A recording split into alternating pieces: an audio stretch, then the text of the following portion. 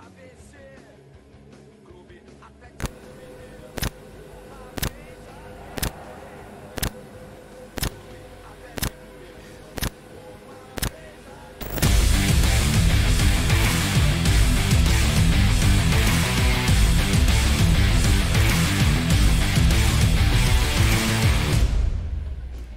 É isso aí, devoto! Ótimo dia para você, sejam bem-vindos ao canal Alvinegro. Eu sou André Rapsold, estamos com mais um vídeo de bastidores do Galo. Mas antes, se você é novo por aqui, você tem que se inscrever e deixar o like. É, é muito importante aí você fazer parte da família Alvinegra. É um prazer imenso estar falando com você no oferecimento de renda passiva Forex. Não perca tempo. A renda passiva Forex, ela é feita para você, é o melhor clube de investimento para 2022. O Thiago vai te dar um curso excepcional excepcional, rapaz. Excepcional mesmo sobre trade na bolsa de valores. É um dos melhores caras no ramo, ganhou muita grana em 2022. Então não perde essa oportunidade, não. Clique no link da descrição e saiba tudo sobre isso. Renda passiva Forex, sabor da carne, basta experimentar para se apaixonar. Nossa loja gourmet funciona em pleno vapor ali na Silva Lobo e Gerencianet, banco digital para valer, é com a Gerencianet. Clique no link da descrição e venha ser feliz agora. Melhores taxas e tarifas do mercado se encontram aqui. Então não perca tempo e venha com a Gerencianet. Hoje tá na capa, tá na tela uma vergonha nacional. Isso aqui é sério, pesado, nós vamos falar sobre isso. O Galo venceu a CBF, muito bom. Urgente sorteio da Libertadores. Arana desbancar europeus. Vamos falar sobre tudo isso e vamos começar falando do STJD e do julgamento do Galo. E o Galo arrebenta a CBF. Bom, senhoras e senhores, eu não sei se os senhores lembram, eu trouxe aqui algum tempo atrás para vocês a informação de que o Atlético estava, acredite se quiser, o Atlético estava sendo processado pelo STJD tá certo, porque a CBF não assumiu a sua devida culpa por invasão de campo na final da Supercopa do Brasil. Vou explicar para vocês uma coisinha aqui muito clara. A Supercopa do Brasil funciona do seguinte modo: Primeira coisa, é um torneio organizado pela senhora CBF, onde ela determina venda de ingresso, quem entra, quem sai, ela que dá credencial, ela faz todo o métier. Ou seja, ela toma conta do ponto A ao ponto Z. Só entra em campo quem tem a credencial dela, a quem ela deu a credencial. Bom, vocês vão lembrar que teve um torcedor atleticano, que ele sempre tá nos jogos, é um cara bem financeiramente, viaja com o Atlético sempre, não com a delegação, e sim com o Atlético. O Atlético vai a Macapá, ele vai a Macapá. Se o Atlético vai a Manaus, ele vai a Manaus. Ele não se sabe como, entrou em campo, né? Inclusive, se você ver o vídeo que ele grava, o presidente falou: Uai, velho, você tá por aqui? Ele, eu tô sempre, né, presidente? Ele ainda fala isso. O presidente estranha a entrada dele em campo. O presidente Sérgio Coelho estranha ele estar ali presente. E aí, no próprio vídeo que o cara que invadiu gravou, tá certo? E mesmo assim, em vez da CBF chegar né, na denúncia do STJD, assumir a responsabilidade para não era minha responsabilidade, não sei como é que esse senhor invadiu, não, o Atlético não é responsável, o tribunal, né, a procuradoria farsante do STJD, porque não tem cabimento, processou o Atlético. E o Atlético, graças ao bom Deus, lá parece que tem gente com bom senso no pleno do STJD, entendeu que o Atlético não era o culpado. Quatro votos a um, porque houve um maluco, porque para mim não tem outro termo, que pre... é, não é maluco, né? Usei um termo meio pesado, mas é um cara que não parece que falta ali um bom senso. Aí isso que eu vou dizer, que ainda queria multar o Atlético em 50 mil. Ou seja, uma panaceia, uma bagunça, um absurdo. Essa é a verdade, é um absurdo esse processo contra o Atlético. Porque o Atlético gasta dinheiro, gente, contratando advogado, tendo que monitorar processo. Isso tudo é um inferno. Eu fui gerente jurídico, eu sei. Mais um processo é mais trabalho, é mais dinheiro gasto, é mais energia gasta, é frustração, é muita coisa. Uma vitória ótima e principalmente uma vitória contra a dona CBF, que não assumiu as suas responsabilidades quanto ao caso. Gente, no vídeo no vídeo e a promotoria também, um absurdo esse processo. Porque a CBF tinha que ter assumido. E no próprio vídeo fica muito claro. Bom, pelo menos essa é a minha opinião. Gostaria de saber de você do outro lado da tela o que você pensa sobre isso. Deixe aqui sua inscrição e o seu like enquanto eu parto pro próximo tema. Bora lá! O próximo tema do nosso vídeo já está na tela, é Arana, é a convocação, você já sabia disso, mas eu quero conversar com você é uma outra situação, porque é a busca pelo espaço em cima de europeus. Bom, nós temos um conhecimento pleno que os melhores jogadores do futebol brasileiro, né, que, que são brazucas, estão na Europa, estão na Europa, né? A convocação do Hulk passa até muitas vezes, eu acho que ele merece porque o Hulk é um estilo de jogador diferente que a seleção não tem, mas nós temos muita qualidade lá no ataque lá fora, gente de muito um bom grau. Muito vai se queixar do Atlético não jogar do Brasil não jogar vistoso e tal, mas eu acho que tem mais a ver com o futebol que o Tite implementa, né? O Tite é um retranqueiro conhecido né? É um cara que joga de defensivamente, ganhou é, Mundial e Campeonato Brasileiro de Libertadores pelo Corinthians sendo defensivo. Ele não, mas é um grande técnico, é um grande técnico. Mas ele tem uma característica um pouco mais defensiva, de ajuste de defesa. Bom, o Arana agora, ele concorre contra muitos europeus e bom nível e gente de altíssimo nível, principalmente pela lateral esquerda. E a convocação dele é uma afronta, vamos assim dizer, não é, não é uma afronta direta nem nada disso. Eu usei até o termo errado, mas é uma é um, é um, é um tapa na cara do que vem se apresentando dos brasileiros lá fora. E o Arana vem buscando o espaço dele, é merecedor de estar na seleção brasileira, é merecedor, é disparado o melhor lateral das Américas das Américas, não vou falar só da América do Sul, é das Américas, e hoje se encontra sim no nível europeu. O Arana tem apenas um defeito no meu ponto de vista, que ainda defensivamente ele pode subir o nível dele. Mas ele chega.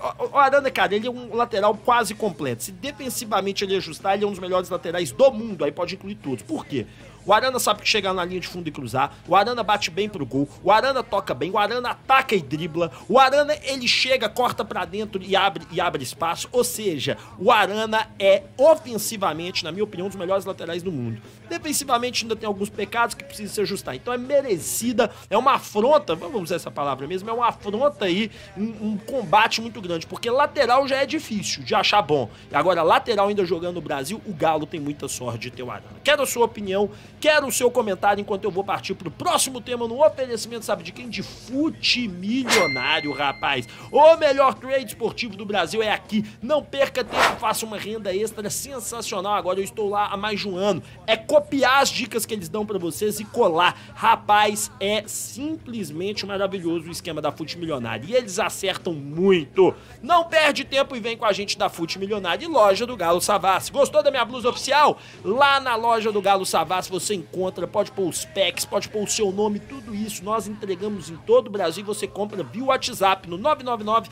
500040. 999 500040. Entregamos em todo o Brasil, ainda aceitamos Pix, rapaz. Tá fácil comprar pela loja do Galo Savassi. Bora pro próximo tema, senhoras e senhores. Bora lá! E o próximo tema é Libertadores da América, rapaz. Temos que falar da Liberta, afinal de contas, dia 25, no dia do aniversário do Galo, vai rolar o sorteio. E os grupos já estão aí praticamente decididos. Não os grupos, mas os potes já estão decididos. E isso implementa muita coisa que eu vou explicar aqui para você. No pote 1, que é o pote dos cabeças de chave, ou seja, os primeiros a ser sorteados em cada grupo, tem Palmeiras o Galo, o, vamos lá, Palmeiras, campeão da Libertadores, Galo, campeão brasileiro, Atlético Paranaense, campeão da Sul-Americana, Flamengo, aí é ranking, tá certo? E também, e também vice do brasileiro, porque o Atlético ele passa pela Copa do Brasil, aí o Flamengo pega essa vaga. Boca Júnior, campeão, ranking e tal, River Plate, campeão argentino, ranking, Nacional do Uruguai, ranking, Penharol, ranking. Aí tem o pote 2.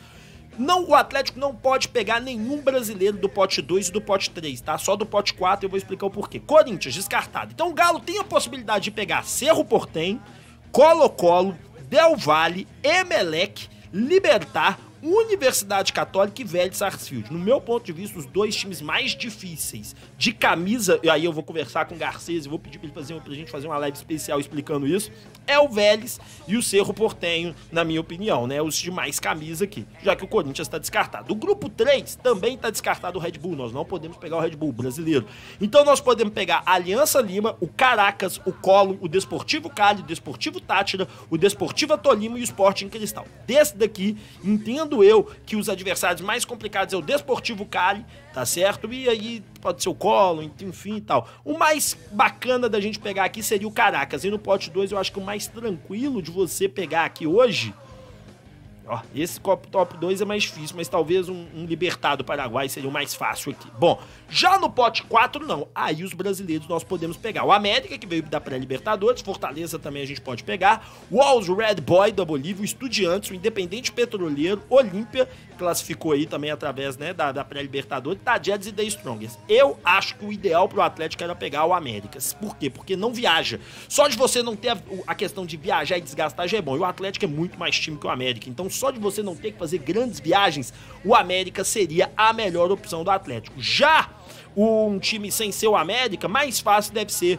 o Wild Red Boys aí da Bolívia. Eu acho que ele seria o mais fácil. Mas bom, e você? Prepare para montar essa chave. Transmissão ao vivo aqui do canal Vinegro. Nós vamos transmitir tudo para você desse sorteio da Libertadores. Comenta aqui embaixo, enquanto isso eu parto pro próximo e último tema. Bora lá! É uma vergonha a CBF, é uma vergonha as federações brasileiras e é uma vergonha Atlético, Flamengo, Cruzeiro, Corinthians, Palmeiras, todos eles. Edinaldo Rodrigues será eleito, que é chapa única, tá? Presidente da CBF com chapa registrada com o nome Pacificação e Purificação do Futebol Brasileiro. Senhoras e senhores, Infelizmente os times não aprendem, infelizmente os times querem viver nessa seara da corrupção. Né? Não, não vou falar da corrupção porque eu, eu, estaria falando que a CBF está roubando, mas eles querem viver nessa seara de uma desorganização e de, um, de uma empresa que apenas liga, porque a CBF é uma empresa, para os próprios interesses, para as próprias regalias. Né? Não gasta dinheiro com qualificação de árbitro, nem com pagamento mínimo de árbitro para o Brasil inteiro. Poderia pagar, em, em vez de ficar se enriquecendo, comprando prédio, jatinho, isso, daquilo, que ela poderia fazer fazer isso também, que ela ia ficar mais rica se organizasse os campeonatos brasileiros da Série A, B, C e D com qualidade, com critério, sabe? Tirar a sede do Rio de Janeiro, vender aquele prédio, levar a sede para Brasília, para tirar a interferência ou para o Mato Grosso, mas para tirar a interferência carioca de tudo que acontece ali, porque os cariocas têm grande poder na CBF. Não tem mineiro nessa chapa principal, não tem da Federação Mineira ninguém forte o suficiente, nem o Castelar tá fora.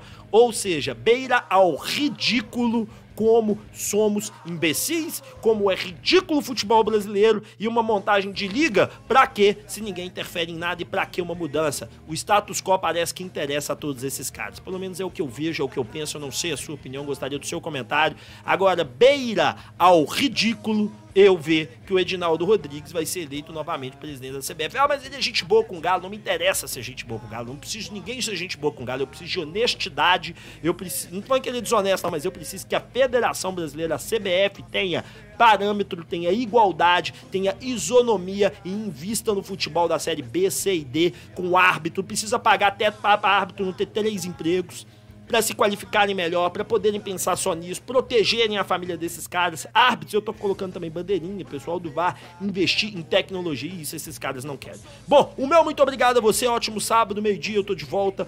15 h 30 também para a transmissão do Hoje Tem Galo. Galo e Caldense vão fazer essa transmissão auspiciosa. Eu, Beto Guerra, Thiago de Araújo, Henrique Vilar. Beleza? Grande beijo, fiquem com Deus, valeu, tchau, tamo junto e eu fui, obrigado!